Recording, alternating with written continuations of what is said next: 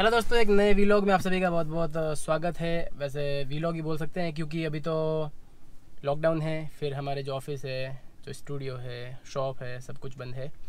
तो फिर आज की जो वीडियो थी, वो थी हमारे आइशर रेटिंग को लेकर। बहुत सारे लोग बोलते हैं कि, और बहुत सारे लोग ऐसे भी हैं जो एसी के नाम से इसलिए डरते हैं क्योंकि इलेक्ट्रिसिटी का बिल बहुत ज़्यादा आता है। लोग ये सोच रहे हैं कि इलेक्ट्रिसिटी बहुत ज़्यादा खाती है एसी और इसी को लेकर वो परचेज नहीं करते और कूलर खरीद लेते आजकल तो कूलर भी बहुत ज़्यादा महँगे आ चुके हैं। यानी कि लगभग पंद्रह बीस हज़ार के एयर कूलर भी आते हैं। तो आई थिंक मैंने सोचा पंद्रह बीस हज़ार के अगर एयर कूलर आते हैं मार्केट में और लोग परचेज भी कर रहे हैं, तभी कंपनी निकालती होगी। तो क्यों ना एसी पर वीडियो बनाएँ और लोगों को ज़्यादा से ज़्यादा बताया जाए कि एसी भी इलेक्ट्रिसिटी कम ही कंज्यूम करती है। वैसे कूलर कम करता है, पर एसी का जो मज़ा है वो अलग ही है। आप बिल्कुल फ्रेश रहते हैं अंदर की तरफ़ और कुछ भी चिपचिपाहट नहीं होती, बाकी कूलर तो कूलर है और एसी एसी ही रहने वाला है। बात करते हैं आइशर रेटिंग की, कि इलेक्ट्रिसिटी का बिल कैसे कम आता है एसी में। पहले के एसी अलग थे, उनमें बहुत ज़्यादा इलेक्ट्रिसिटी का बिल आता था, इलेक्ट्रिसिटी कंज्यूम होती थी। पर आज के जो एसी है, उनमें आइशर रेटिंग बहुत ही अच्छी आनी चालू हो चुकी है, इलेक्ट्रिसिटी का बिल भी बहुत कम आता है। बात करें अगर आइशर रेटिंग की, अगर two point nine ISEER rating है किसी एसी का, जैसे ऊपर लेबलिंग होती है, उसके ऊपर लिखा होता है, यहाँ पर two point seven two point nine three point one कितनी आइशर रेटिंग है। अगर 2.9 आइशर रेटिंग है किसी एसी का तो उसकी जो इलेक्ट्रिसिटी जो यूनिट कंज्यूम करने का सिस्टम होगा पर डे के हिसाब से, लगभग 15 यूनिट पर डे कंज्यूम करेगा। 15 यूनिट यानी कि आप मान सकते हैं पाँच रुपये पर यूनिट यानी कि सेवेंटी फाइव रुपये होते हैं लगभग सेवेंटी फाइव या फिर सेवेंटी सत्तर, पचहत्तर रुपये पर डे का खर्चा है। और अगर मंथली देखें तो फिर दो हज़ार का खर्चा बैठता है मंथली दो हज़ार का खर्चा है। वैसे इलेक्ट्रिसिटी का बिल आता है दो महीने का, पर मैं बात कर रहा हूँ यहाँ पर 2.7 जो आइशर रेटिंग है उसकी। अगर आप लेते हैं थ्री पॉइंट फाइव या फिर जो भी तो फोर पॉइंट वन भी और फोर पॉइंट ज़ीरो भी है।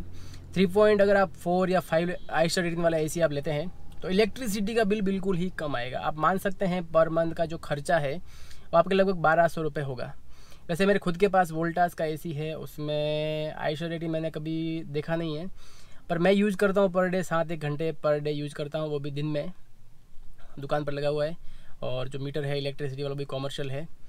अगर देखते हैं उसके हिसाब से तो फिर जो एसी पर डे खर्चा आ रहा है, मेरे हिसाब से लगभग पाँच यूनिट पर डे कंज्यूम कर रहा है। अगर पाँच यूनिट पर डे देखते हैं तो बहुत ही कम खर्चा है, क्योंकि कॉमर्शियल में ज़्यादा है रेट आज की वीडियो डोमेस्टिक पर है, आप अगर घर पे यूज़ करते हैं, उसी के ऊपर है। कॉमर्शियल के कभी और बनाएँगे, उसमें खर्चा थोड़ा ज़्यादा बढ़ जाता है, क्योंकि यूनिट का खर्चा भी ज़्यादा होता है। अगर डोमेस्टिक की बात करें, अगर पर डे पाँच यूनिट कंज्यूम कर रहा है, मैंने लगभग बत्तीस हज़ार में इसी लिया था।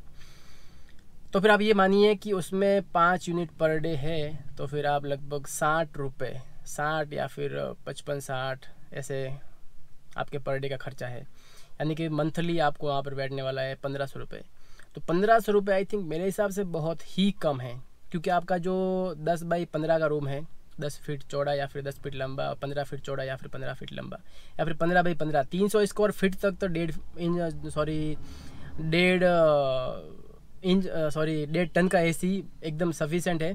और आज की वीडियो में डेढ़ टन की ही बात करें, जिसकी जो कूलिंग जो कैपेसिटी है, वो बावन सौ वाट है। उसी की बात कर रहे हैं आज की एसी में, आज की वीडियो में। और अगर डेढ़ टन का एसी है, पंद्रह बाई पंद्रह का रूम है तो एकदम सफिशेंट है, अच्छे से कूलिंग करेगा, अच्छी कूलिंग होगी। और इलेक्ट्रिसिटी अगर आपको बचानी है, आजकल हर ब्रांड के ऊपर एक लेबल आता है ट्वेंटी फोर सेल्सियस वाला। यानी चौबीस सेल्सियस लिखा होता है। वो इसलिए लिखा होता है, कंपनी ये बोलती है, अगर आपको इलेक्ट्रिसिटी सेव करनी है, आपको नॉन स्टॉप कंटिन्यू आपको 24 पर ही चलानी पड़ेगी। बहुत सारे ऐसे लोग होते हैं कि एसी चालू करते ही अठारह पे कर देते हैं, बीस पे कर देते हैं। वो ये सोच रहे हैं कि फटाफट ठंडा हो जाएगा। फटाफट ठंडा होगा, पर लोड भी बढ़ जाता है। अगर लोड बढ़ेगा तो आप ये मानिए कि वहाँ पर इलेक्ट्रिसिटी का खर्चा भी बढ़ेगा, क्योंकि यूनिट बहुत ज़्यादा कंज्यूम करेगा। तो आई थिंक मेरा मानना ये है कि आप भले चौबीस पे चलाएँ, छब्बीस पर चलाएँ या फिर अट्ठाईस पर चलाएँ, आपका जो एरिया जो कूल करना है, वो उस एसी को ही करना है। थोड़ा टाइम भले लेगा, अगर आप अठारह पे करेंगे तो फिर वो आधे मिनट में करेगा, अगर आप चौबीस पे चलाएँगे तो फिर आप वो एक मिनट में कूल करेगा। पर एक मिनट में टेम्परेचर सेट हो जाएगा, लगभग दस मिनट में पूरा रूम अच्छे से चिल्ड और ठंडा हो जाएगा चौबीस या फिर छब्बीस पर। तो फिर आपके इलेक्ट्रिसिटी का बिल भी एकदम सही आएगा। आप स्टेबल चलाइए। आप कभी उसको कम ज़्यादा कम ज़्यादा मत करिए। ज़्यादा गर्मी, वैसे एसी कंटिन्यू चल रहा है स्टेबल चल रहा है, इसका मतलब आप ये मानिए कि इलेक्ट्रिसिटी का बिल भी एकदम सही आएगा। और आज की वीडियो में मैं जितनी भी बात कर रहा हूँ, वो सब इन्वर्टर एसी का बोल रहा हूँ, जिसमें डुअल रोटरी कंप्रेसर होता है, जो नॉन स्टॉप कंटिन्यू चलता है, कोई लोड या फिर कोई झटके नहीं मारता। बाकी पुराने एसी थे पहले एकदम ट्रिप हो जाते थे।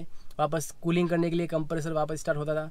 तो ऐसे एसी के बारे में बात नहीं कर रहा हूँ, मैं बात कर रहा हूँ डुअल रोटरी इन्वर्टर के बारे में या फिर ट्रिपल रोटरी, जो भी आजकल बहुत सारे इन्वर्टर जो मॉडल आ रहे हैं, उनके बारे में बात कर रहा हूँ।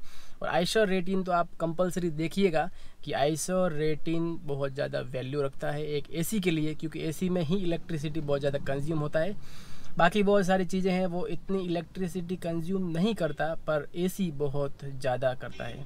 मैं आपको यहाँ पर एक चार्ट पूरा यहाँ पर शेयर कर दूँगा डिस्प्ले पर आप, आपको दिख रहा होगा। आप आप उसको अच्छे से देखिएगा। आपको एक आइडिया लग जाएगा कि वास्तव में इलेक्ट्रिसिटी कितने टन का एसी है, कितना कूलिंग जो कैपेसिटी एरिया है, और कितनी आइशर रेटिंग है, कितना बिल कंज्यूम करता है, उसमें जो, इसमें जो चार रुपये लिखा हुआ है यूनिट का खर्चा अब मेरे हिसाब से लगभग पाँच रुपये है तो आप उसको पाँच के हिसाब से काउंट कीजिएगा, आपको बिल्कुल सही आइडिया आ जाएगा।